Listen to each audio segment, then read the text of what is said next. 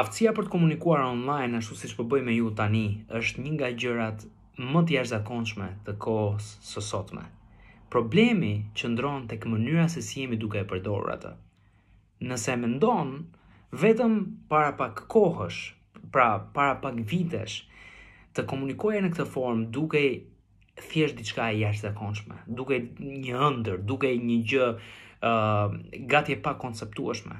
E mbaj mend në kohën e internetit, në kohën e pa, në momentet e para të internetit ku duhet të punonim akoma me atë internetin dial-up që quhej, domethënë që bënte atë zhurmën kur regjistrohej, kur fillonte dhe lidhej dhe punonte me një shpejtësi ekstremisht super të ngadaltë në kohën e web 1.0, që e vetmja gjë që mund të bëje në internet ishte vetëm të shikoje disa tekste apo të prisje 2 orë për t'u hapur një imazh.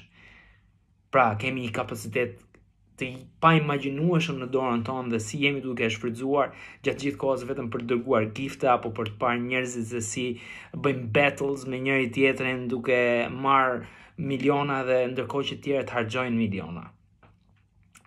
Kjo nuk është mënyra se si duhet shfrytëzuar gjithë ky kapacitet. Kjo nuk është mënyra se si duhet shfrytëzuar kjo mundësi e jashtëzakonshme.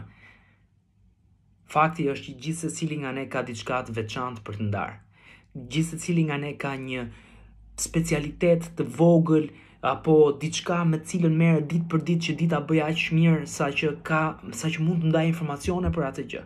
Fakti është që dikush di se çfarë ndodh në lagjen e vet shumë mirë dhe mund të futet dhe të ndajë disa informacione rreth asaj gjëje për ta ndarë me njerëzit e duhur në mënyrë që të bëhet diçka dhe të ndryshohet diçka.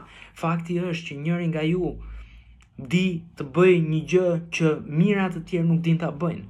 Fakti është që gjithsecili nga ne ka një mesazh për të ndarë, një histori interesante, një gjë të bukur, një gjë uh, emocionale, një gjë të keqe, e cila mund të jetë konstruktive për dikë tjetër. Dikush do të ndajë mënyrën si ndihet dhe ta tregojë në kontekstin e vet personal për ta për t'u bërë shembull dhe për t'u bërë uh, një dritë shprese për dikë tjetër. Pra njerëzit kanë pafundësisht për të ndarë. Problemi është që jemi duke shfrytëzuar gjithë këtë kapacitet për çfarë?